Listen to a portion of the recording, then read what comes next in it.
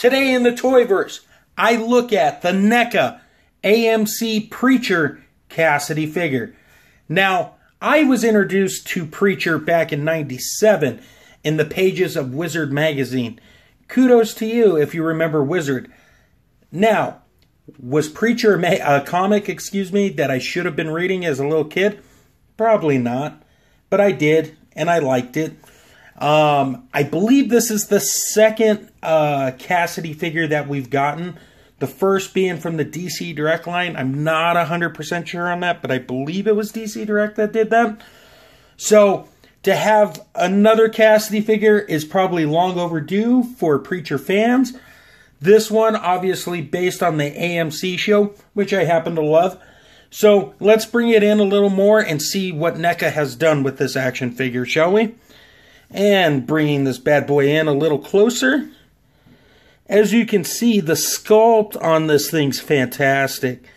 NECA, who, I mean, if you're watching this video, you know, NECA always does amazing work. And it really shines here. And for the price point they offer, their action figures for, it's more than a bargain. It's a steal, in my humble opinion. But as for the face here, I think it definitely looks like the actor. Um, I love the expression he has going on. It would have been nice to have an alternate head for him, but it's not a deal breaker by any stretch of the imagination. Nice sculpted hair. I mean, the paint is done fantastic on this thing. You got a nice wash in the jacket. The flannel's painted very nicely. The tattoos really stand out on this thing.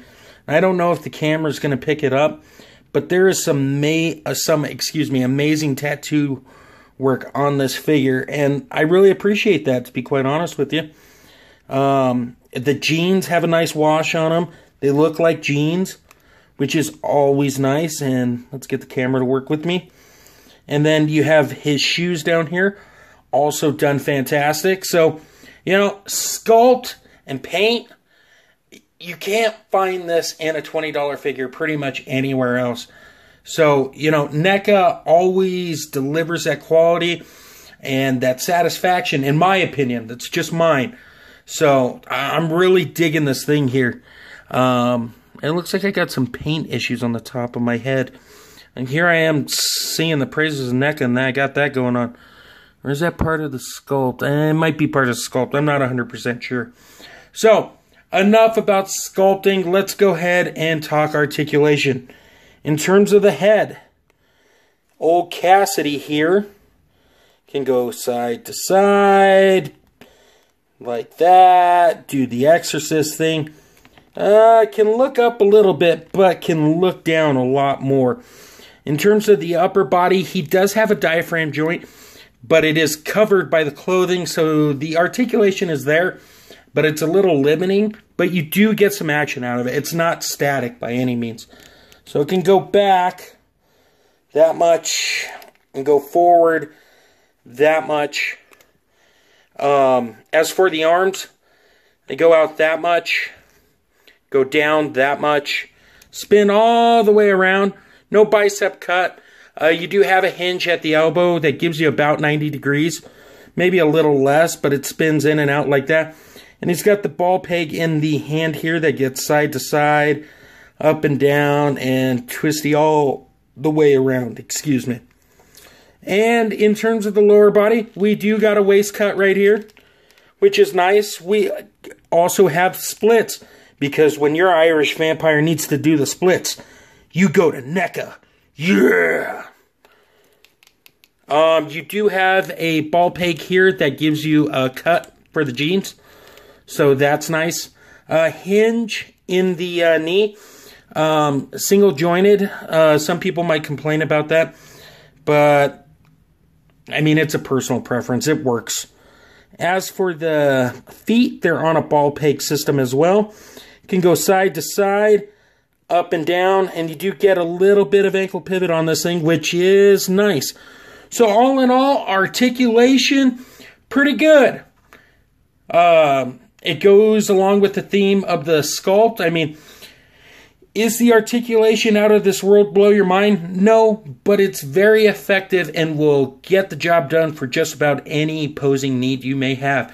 So let's set the figure aside and let's look at some of his accessories, shall we? All right, here we are at accessories.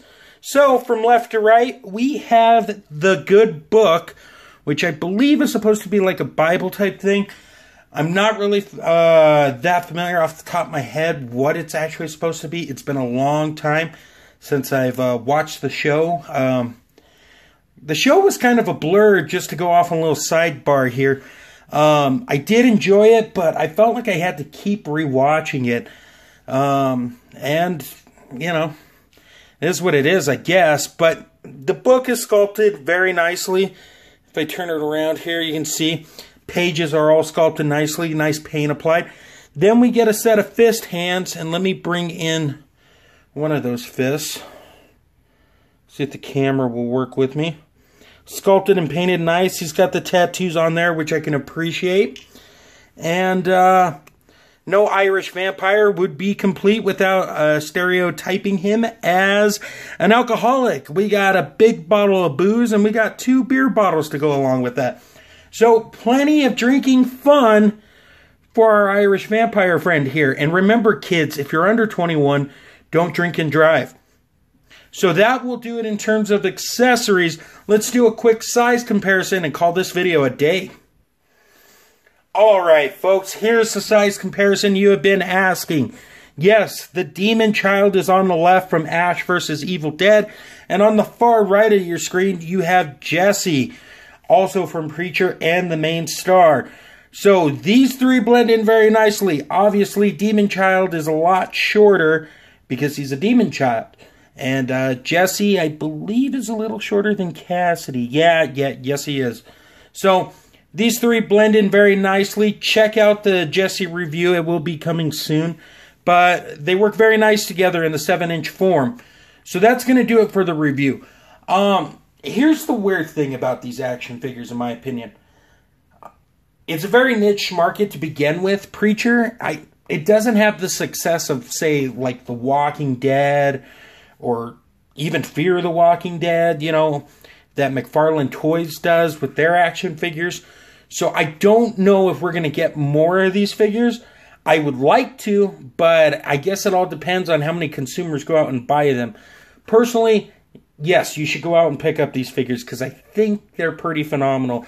And at a $20 price point, you can't beat that. So if you like it, if you like this review, definitely go get yourself some Preacher action. So, as always, thank you for the love and support. I appreciate it. Like, share, and subscribe. You can follow me on Instagram and Twitter. That information is in the description below. Um, along with that, you can follow Undercover Capes on Twitter and check out their uh, website. They do all things geekery from podcasts to reviews to interviews from Marvel to DC to uh, the indie scene. Uh, you want geek stuff? That's the place to be. And if you do toy photography, please use the hashtag Toy Lover Crew to feature your toy art. Thank you guys so much. Stay tuned at the end for the slideshow. And until next time, friends, tally ho.